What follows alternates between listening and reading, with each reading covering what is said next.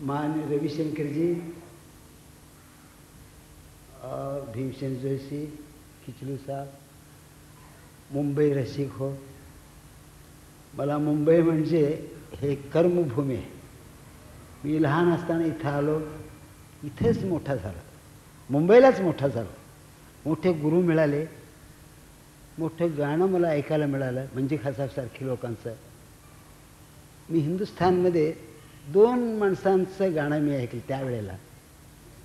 त्या दोन माणसांच्या गाण्यामध्ये तानेमध्ये रस होता. हे गोष्टी इम्पॉसिबल आहे. ताण काढायचं म्हणजे अननॅचरल फोर्स द्यावाच लागतो.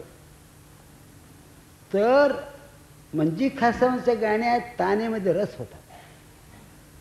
आणखी एक माणूस तानरस खाची घराण्याचे होते छब्बू खान. ते आलाप करत होते ताण करत होते समजत नव्हता. इतकं मऊ इतकं आणि रस.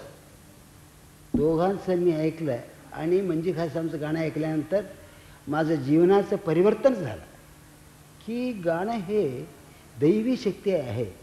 आणि हे गाणं चढतंय माणस- माणसांना. साप चावलं तर कसं चढतंय विष? तसं म्हणजे मंजी आमचं गाण्यामुळे माझं मला विषच चढला. की बारा वर्ष तेवीस काही गेलं नाही. बारा वर्ष त्यांचं गायकी त्यांचं हे त्यांची कल्पना विलास पाच पाच घंटे मला शिकवायचे. कसे शिकवायचे? अस्तायंत्र बसून द्यायचे माझ्याबरोबर गा. हमारे पास सात गाव. माझ्याबरोबर गाव हो? त्यांच्याबरोबर गाव हो? म्हणजे कल्पनाविलास आणि त्यांची स्वरसिद्धी त्यांची काय म्हणजे सांगता येत नाही गाता येत नाही. त्यांच्यासमोर बसलो एवढंच माझं म्हणजे श्रेयस आहे. त्यांच्यासमोर मी पाच पाच घंटे बसत होतो शिकत होतो त्यांच्याबरोबर गात होतो. काय गात होतं माहिती नाही. बरं का? पण ते गात होते. दगा घेत होते ते मी तानपुरा घेत होतो मोठे कासा घेऊन दोन दोन तास बसत होते ऐकत. आणि अशी अगाध शक्ती असलेले गायक आमच्या आम्हाला मिळाले तर लवकर गेले. दीड वर्षात ते गेले. मनाला हळहळ वाटले की दीड वर्षातच एवढं ग्वालियर घराण्याचे लोक शिवाय द्यायला लागले. कशाला ग्वालियर घराणे सोडलं तुम्ही?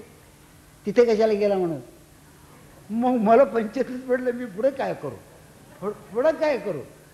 तर शेवटी मोठे खासानं सांगितलं तुम्ही दोन दोन तास बसत होता आमच्या तालीमच्या वेळेला आता ते गेले.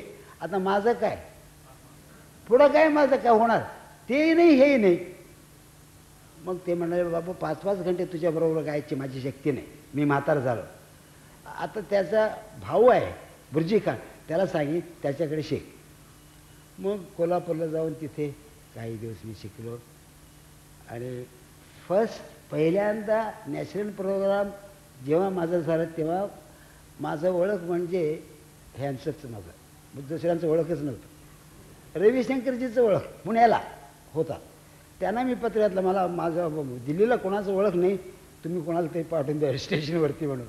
ते पाठवून दिले घरी बोलविले प्रेम केले विद्वान माणूस आहे संग्रह आहे आणि इथपर्यंत अजूनपर्यंत उत्तम वाजवतात चांगले लोक. आणि हिंदुस्थानाचे आमची परंपरा आमची भारतीय संगीताचं सबंध जगभर हे प्रचार केले ह्याची श्रेयस ह्याना आहे.